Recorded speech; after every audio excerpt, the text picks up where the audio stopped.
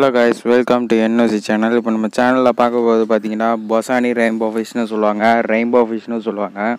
இந்த ஃபிஷ்ஷு பார்த்தீங்கன்னா பிளான்டேஷன் டேங்குக்குன்னு இருக்கக்கூடிய ஒரு ஃபிஷ் தான் இந்த ஃபிஷ் இந்த ஃபிஷ் வளர்த்து வச்சுருந்தீங்கன்னா ஃபுல் பிளான்டட் அக்யூரியம் அதாவது மினிமம் சைஸ் மினிமம் பிளான்ஸாவது வச்சுருக்கணும். கண்டிப்பாக இந்த ஃபிஷ்ஷஸ்க்கு வந்து மீ பிளான்ட் இல்லாமல் இருந்ததுன்னா இந்த ஃபிஷ்ஷை நீங்கள் வளர்க்கவே மு- வளர்க்கவும் முடியாது ப்ரீட் பண்ணவும் முடியாது. ஏன்னா இது வந்து பிளான்டேஷன் டேங்க்கில் இருக்கக்கூடிய ஒரு மீன்.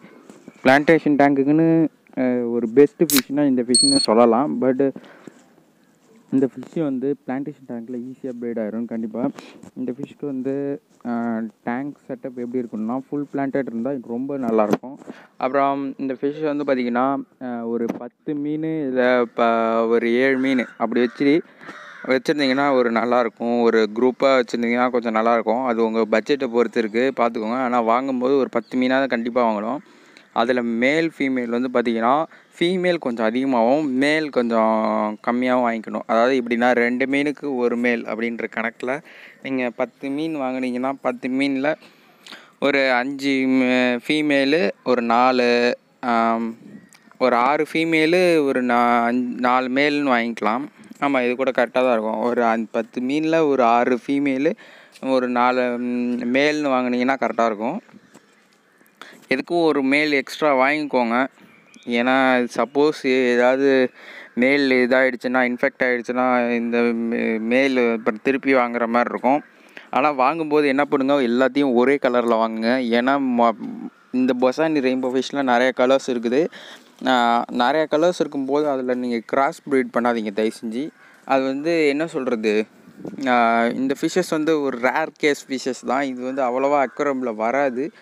பட் ஏன்னா இந்த ஃபிஷ்ஷஸ் வந்து இப்போ டேஞ்சர் ஸ்பீஷீஸில் இருக்குதுன்னு சொல்கிறாங்க பட் இருந்தாலும் இந்த ஃபிஷ்ஷஸ்க்கு வந்து நீங்கள் வந்து ஒரே ப்ரீடில் லைன் ப்ரீடில் கொண்டு வந்தீங்கன்னா கண்டிப்பாக நீங்கள் வந்து யார்கிட்டயே கொடுக்கும்போது பார்த்தீங்கன்னா கொஞ்சம் நல்லாயிருக்கும் அதை மட்டும் நீங்கள் பார்த்துக்கோங்க. அப்புறம் இந்த ஃபிஷ்ஷஸ்க்கு வந்து பார்த்திங்கன்னா டெம்பரேச்சர் வந்து பொறுத்த வரைக்கும் ட- நம்ம ஊர் டெம்பரேச்சருக்கு கொஞ்சம் செட் ஆகாது. அதனால் நீங்கள் வந்து ஹீட்ரு யூஸ் பண்ணுற மாதிரி இருக்கும் நைட் டைம்ஸில் அதை மட்டும் நீங்கள் பார்த்துக்கோங்க. இதுக்கு வந்து ஹீட் ஹீட்ரு யூஸ் பண்ணலாம். அது யூஸ் பண்ணணும். கண்டிப்பாக யூஸ் பண்ணணும். ஏன்னா இது வந்து நம்ம ஒரு நைட் டெம்பரேச்சர் செட் ஆகாது. அது மட்டும் நீங்கள் பார்த்துக்கோங்க கேப்டிவில் அப்படி கேப்டிவில் இருக்கும்போது ஃபாரினில் கேப்டிவில் இருக்கும்போது எப்படி சாத்தியம் ஆகும்னா ஃபாரினில் கேபிட்டலில் இருக்கும்போது என்ன பண்ணோம் இந்த ராக்ஸு இதெல்லாம் இருக்கும். அதுக்கு அடியில் போய் பூந்துக்கும். ராக்ஸுக்கு அடியிலலாம் ஹீட்டு வந்து கொஞ்சம் இருக்கும் நைட் டைமில் அதனால் அங்கே போய் பூந்துக்கும். இந்த ஃபிஷ்ஷஸ்க்கு வந்து பார்த்திங்கன்னா ஃபாரினில் வந்து இந்த மாதிரி இருக்கும்னு சொன்னேன்னா ஃபாரினில் வந்து இந்த ஃபிஷ்ஷஸ் வந்து ஓரளவுக்கு நம்ம லேக்கில் கிடைக்கிற மாதிரி தான் கிடைக்கும். அதை இங்கே இம்போர்ட் பண்ணுறாங்க அதனால் இந்த ஃபிஷ்ஷஸை வந்து நீங்கள் கொஞ்சம் ஜாக்கிரதையாக தான் பார்த்துக்கோ ஏன்னா நம்ம ஊர் டெம்பரேச்சர் செட் ஆகாதுன்றதுனால அதுக்கப்புறம் இந்த ஃபிஷ்ஷஸ் வந்து பார்த்திங்கன்னா பேராமீட்டர் அதாவது நம்ம தண்ணியோடைய ஃப்ரெஷ் வாட்டர் மட்டும் தான் செட் ஆகும். இந்த உப்பு தண்ணி இந்த மாதிரி எந்த தண்ணிக்கும் செட் ஆகாது. ஒன்லி ஃப்ரெஷ் வாட்டர் மட்டும் தான் இந்த ஃபிஷ்ஷஸ்க்கு அப்புறமேட்டு இந்த ஃபிஷ்ஷஸ்க்கு வந்து பார்த்திங்கன்னா என்ன சொல்கிறது டேங்க் மேக்ஸ் வந்து பார்த்திங்கன்னா ஒரு பிளான்டடு ஃபிஷ்ஷஸ் விடலாம். ஜீப்ரா அந்த மாதிரி இந்த ஃபிஷ்ஷை டிஸ்டர்ப் பண்ணாது. அந்த மாதிரி விடணும். நிறைய டெட்ரா வெரைட்டிஸ் இருக்குது. இந்த மாதிரி பிளான்டெட்டில் இருக்குது. இப்போ பார்த்தீங்கன்னா தெரியும் இதுலேயே டெட்ராஸ் எல்லாம் இருக்குது. அந்த மாதிரி நிறைய டெட்ரா வெரைட்டிஸோடு சேர்த்து விட்டிங்கன்னா கண்டிப்பாக உங்களுக்கு வந்து நல்லா ஒரு நேச்சர் கிடைக்கும். ப்ளஸ் இந்த மீனும் கொஞ்சம் ஒரு அட்ராக்டிவாக கிடைக்கும். இந்த மீன் பார்த்திங்கன்னா மற்ற மீன் மாதிரி கிடையாது. பிளான்டட் மீன் மாதிரி. இதில் வந்து மேல் பார்த்திங்கன்னா நல்லா தடிசாக நீட்டாக கொஞ்சம் நல்லா ப்ரா ப்ராடாக இருக்கும். பார்த்தீங்கன்னா தெரியும். ஃபீமேல் வந்து பார்த்திங்கன்னா கொஞ்சம் லைட்டாக தான் ரொம்ப தடிசாக இருக்காது. லைட்டாக இருக்கும். ப்ளஸ் வந்து அது பார்த்திங்கன்னா என்ன சொல்கிறது ரொம்ப சி கலர் டிம்மாக இருக்கும். அதுதான் மெயின் ரீசன் ஃபீமேல் வந்து பார்த்திங்கன்னா அந்த பார்த்தீங்கன்னா தெரியும். இதில் ஃபீமேல் வந்து கோடு கோடு ஸ்ட்ரிப் ஸ்ட்ரிப்பாக இருக்கிறது எல்லாமே ஃபீமேல் தான். மேல் பார்த்திங்கன்னா ஒரு ரெண்டு மூணு தான் இருக்கும். நல்லா அந்த எல்லோ கலரில் இருக்குது பார்த்தீங்களா ப்ராடா அதெல்லாமே மேல் தான்.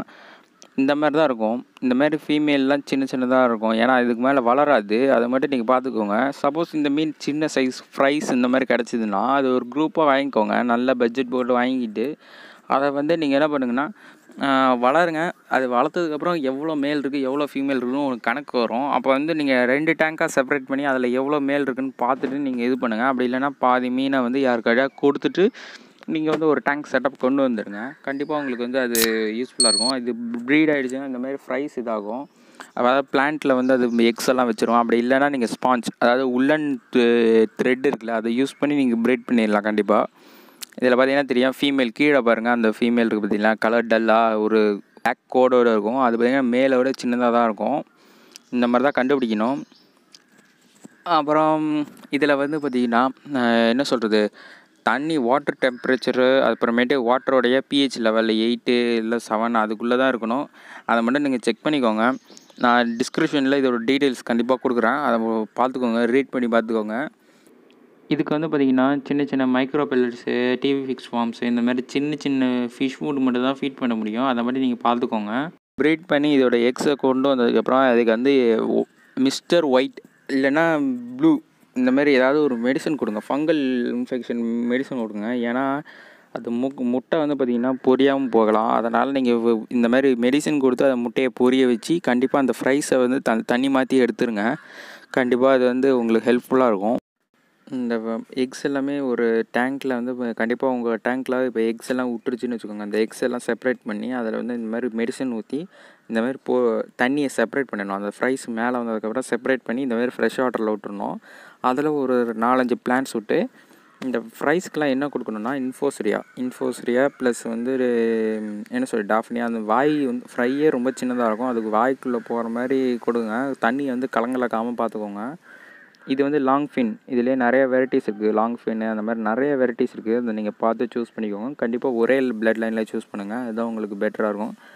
அப்புறம் இந்த ஃபிஷ்ஷஸ் வந்து பார்த்திங்கன்னா பிரீட் ஆகி அது ப்ரீ அதை வந்து நீங்கள் வந்து கண்டிப்பாக நீங்கள் பாதுகாப்பாக வச்சுட்டிங்கன்னா இந்த ஃப்ரைஸ் எல்லாமே வளர்ந்து நல்லா பெருசாயிரும். ஆனால் இந்த ஃப்ரைஸ் வந்து ரொம்ப சீக்கிரமாக வளராது. கொஞ்சம் ஆகும். டைம் ஆகும். எடுக்கும் நல்லா. ரொம்ப டைம் எடுக்கும்.